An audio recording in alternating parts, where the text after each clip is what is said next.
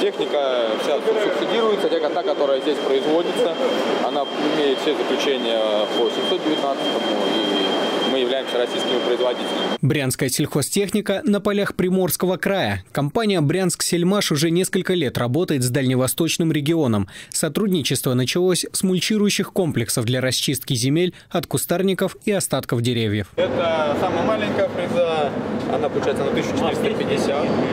Кустарникам, да? Есть, есть. У вас у нас дилер продал две, две штуки, два комплекса. Ну, это новые больших он продал. Залежные земли осваивали. Залежные да. земли. Он продал большие, 550 -е. С компанией «Брянск Сельмаш» мы на самом деле сотрудничаем. У нас есть даже дилерский центр, который представляет э, эту технику нашим сельхозтоваропроизводителями.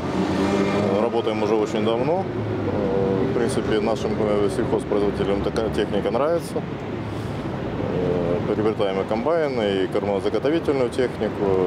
Ну, я думаю, что мы и дальше будем продолжать это сотрудничество. Интерес гостей из Приморья – кормозаготовительная техника и зерноуборочные комбайны. Наши комбайны готовы, они испытываются в разных климатических зонах, в разных регионах и имеются разные исполнения комбайнов. Туда, конечно же, однозначно в Приморье будут продаваться комбайны и предлагаться комбайны полного привода, то есть которые гидравлическим способом и методом обеспечивают полный привод с повышенным клиренсом, потому что понимаем, что климатические условия данной регионы тяжелые, и обыкновенно классическая машина с классическим исполнением туда не, туда не подойдет.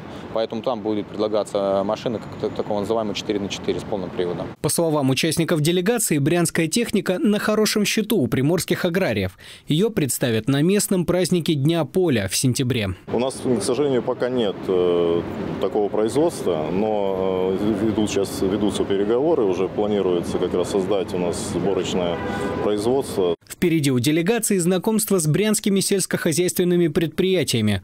Лучшие аграрии нашего региона поделятся опытом с гостями из Приморья. Дмитрий Газин, Виктор Левченков, Брянск.